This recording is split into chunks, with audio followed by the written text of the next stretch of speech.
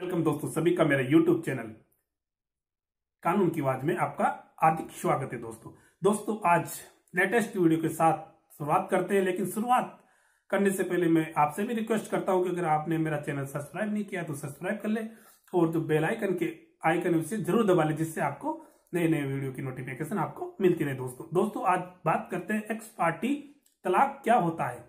X party तलाक क्या होता है इसके बारे में आप इस वीडियो में जानोगे, लेकिन दोस्तों, इस वीडियो को अंत तक देखिए। जब तक आप अंत तक नहीं देखोगे, जब तक आप एक्स पार्टी तलाक के बारे में नहीं समझ पाओगे। दोस्तों, एक्स पार्टी तलाक क्या होता है?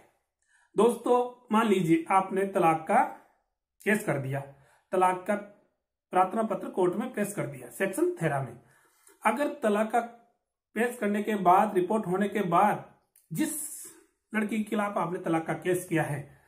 वहाँ नोटिस जारी होंगे। नोटिस जारी होने के बाद दोस्तों, अगर वो लड़की उस नोटिस को ले लेती है, उसके बाद में अगर जो तारीख आती है, उसमें अगर वो उपस्थित नहीं होती है तो उनकी तरफ़ से एक्स पार्टी कर दी जाती है।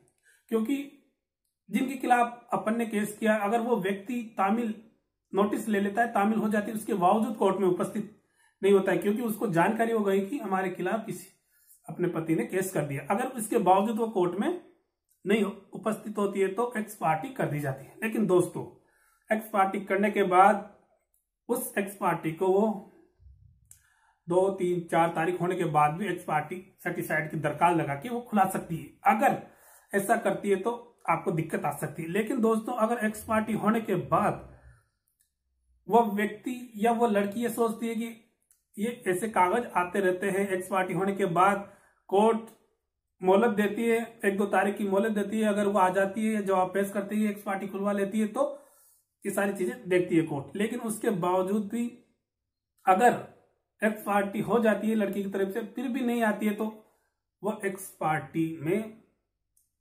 तलाक की डिग्री दे देता है कोर्ट।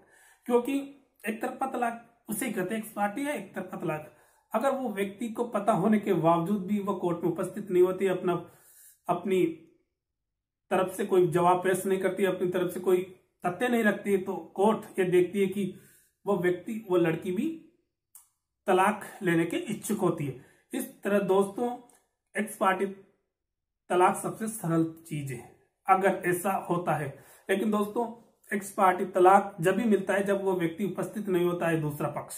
इसलिए दोस्तों अगर एक्स पार्टी तलाक के बारे में आप समझ गए होंगे तो इस वीडियो को लाइक ज़रूर कर दें और अपने दोस्तों के साथ शेयर ज़रूर करें और मेरा मोटिवेशन बढ़ाते रहे। मैं कि मैं खुद प्रयास कर रहा हूँ अच्छे वीडियो बनाने के लिए, दोस्तों।